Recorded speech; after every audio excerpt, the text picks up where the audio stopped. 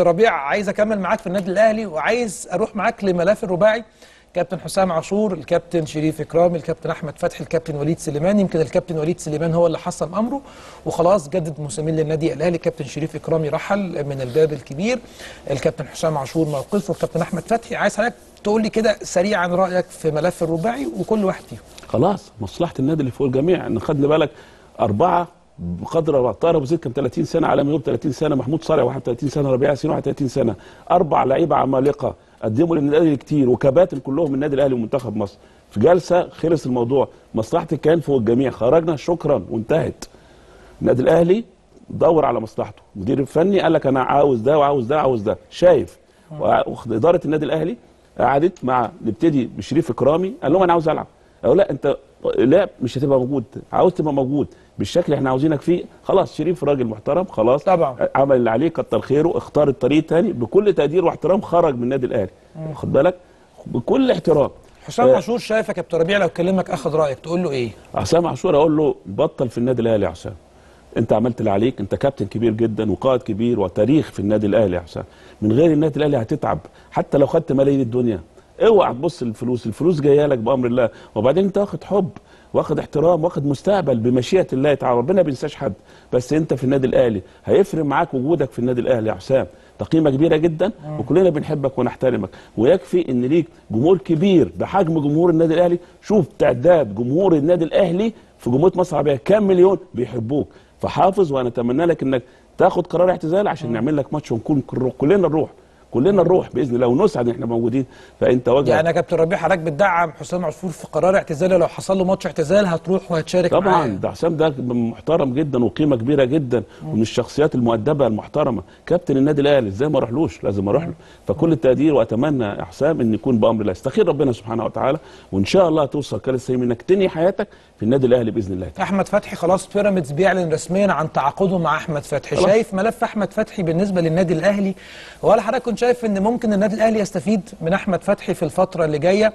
ومين بالنسبة لك يا كابتن ربيع اللي شايف اللي هيتأثر الأهلي هيتأثر برحيل أحمد فتحي ولا أحمد فتحي اللي هيتأثر برحيله عن النادي الأهلي؟ الأهلي ما بيتأثرش بعينك الأهلي نجوم كتيرة. خد بالك من 1907 لحد 2020 يا عمر. قول لي لعيبه ب- ب- باعتزال أبو تريكة الاهلي اتاثر باعتزال محمود الخطيب الاهلي اتاثر باعتزال صالح سليم الاهلي اتاثر بطاهر أبو زيد الاهلي اتاثر بعماد متعب الاهلي اتاثر ب... حتى في ناس بالرحيل حسام إبراهيم اللي من أحسن اللعيبة اللي جت في تاريخ مصر يا عمر. مين؟ اتأثر بوائل جمعة اتأثر بحسن حمدي اتاثر اتأثر الأهلي الكيان الكبير ما بيتأثرش لأنه كيان كبير وربنا حافظه.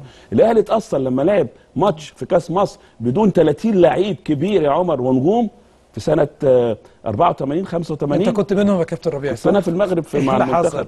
إيه اللي؟ حصل في القرار ده؟ إحنا كنا في المغرب وكان في مشكلة كبيرة جدا بين الكابتن جواري والإدارة كان رئيس الاتحاد النادي الأهلي الكابتن حسن حمدي. مم. فطبعا حصل مشكلة واللعيبة الكابتن جواري خدهم في نادي الشمس. كانت هنا بص بقى شوف القائد شوف المحنك شوف الخبرة شوف الحب. شوف الاحترام شوف الإدارة الجيدة الكابتن صالح سيم قال لك إزاي اللعيبة تخرج تتمرن من غير شكرا مش عاوزكم. وهلعب واخد بالك؟ وكنا إحنا منتخب مصر عندنا ماتش مع المغرب منقسمين في مجموعة في المغرب هناك. عرفنا. جينا طبعا واخد بالك على الأحداث. وكان قرار الإدارة شكرا للعيبة اللي خدت الموقف ده. هلعب الماتش. كان فيه بقى ماتش في كأس مصر يا كابتن عمر. هلعب باللعيبة الصغيرة بدون أي لعيب اتمرن. فشوف فكيان كبير كيان كبير. كان الماتش ده برضو الحكم جامل الأهلي وكسب الأهلي بعيال الصغيره ما ينفعش كده خالص. ده أولاد صغيرين. ما ينفعش يا كابتن عمر. فاللي أقصده بص هو ده اللي حصل. فملف بالنسبة لي آه، أحمد فتحي الأهلي عمل اللي عليه. فقصدي ما يتأثرش ولا الأهلي يتأثر. خلي بالك إيه اللي نقص من ساعة اللعبة دي ما اعتزلت يا عمر؟ إيه اللي قول لي نقص؟ الأهلي بيزود في بطولاته. لأن الاهلي بيشتري بديل موجود. النهارده آه، معلول لا مش موجود. هتلاقي محمود وحيد. هتلاقي النهارده فقصدي الأهلي عمره بيتأثر. وأوقات كتيرة جدا الأهلي لعب في أفريقيا وعنده إصابات كتير جدا والأهلي في الدوري وعنده إصابات كتير جدا والأهلي بيروح ماتشات بتبقى صعبة جدا وعنده إصابات. وحجم الإصابات في النادي الأهلي في الخمس سنين الأخر كتير جدا. لكن الأهلي كان بيكسب لأن عنده البديل عنده الحب عنده الترابط عنده الفنيات عنده الجوانب اللي ربنا أمر بيها. الشغل في إيه؟ في جوانب فنية فيها شغل كويس. يعني يا كابتن ربيع حتى مع رحيل رمضان صبحي لو الأهلي ما اتفقش على تمديد اعارته أو حتى إن هو يشتريه شايف إن رمضان هيأثر مع الأهلي ولا رمضان نجم كبير ووجوده مهم جدا وأتمنى وجوده. لكن لو مش رمضان إحنا عندنا عندك اجيه يا عم عندك الكهرباء عندك خد بالك آه، قفشة عندك صالح عندك آه، الشحات عندك وليد واخد بالك عندك مروان عن عندك.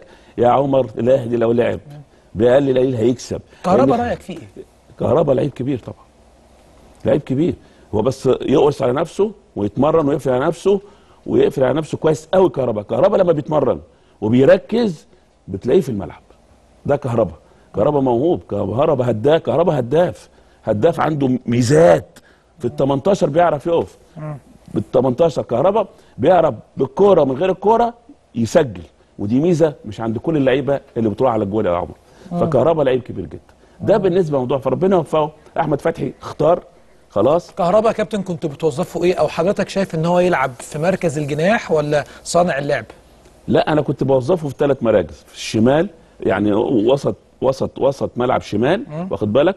أو وسط ملعب يمين أو كنت أوقات بعمل له راس حربة وهمي. ده دول الثلاثه اللي أنا كنت بلعب ثلاثة أربعة ثلاثة مع هذا المنتخب. كنت بعودهم على أربعة في وسط ملعب كنت بوقف صالح واخد بالك؟ جنب آه، الديفندر حسام غالي. وأوقات أطلع صالح وأجيب تريزيجيه. لأن بجيب تريزيجيه تريزيجيه من اللعيب جوكر وبيجي من كل النواحي. وكنت بوظفه أكتر من مكان عشان أستفيد منه لأنه بيجري كتير جد- جدا ولعيب مهم جدا. فكنت بوظفه وأنا أميل دايما للعيب الجوكر. أنا أحب دايما اللعيب اللي معايا يبقى جوكر. لأن أنا بستخدمه في حاجات أسلحة ضد منافس أفاجئ بيه الراجل في أي وقت. طيب فده كابتن ربيع يمكن صالح جمعة فايلر أعلن في أكتر من مناسبة إن هو خلاص مش محتاجه وإن هو بيتمنى له التوفيق وإن هو إدى الضوء الأخضر كده آه، آه، بشكل غير مباشر لإدارة الأهلي إن هم يمشوه. أنا بقول للكابتن جمعة- خطيب اتمسك بصالح. فايلر يعني الإدارة اللي في الاهلي إدارة الأهلي هي اللي بتقول. آه في لجنة كورة. لجنة الكورة لازم تخلي بالها من صالح وفي نفس تديله فرصة أخيرة. ادي لصالح جمعة فرصة أخيرة. بس المدرب يا كابتن ربيع مش عايزه. إيه الحل؟ من وجهة نظرك. معلش المدرب برضو ممكن يجي يمشي في أي لحظة. أنا بدور على مصلحة الفريق ممكن يكون مدرب ما خدش باله. ما عرفش قيمة صالح. ما شافوش. ما حدش اداله خد بالك يا كابتن دي مهمة جدا. لكن كل مصر عارفة صالح.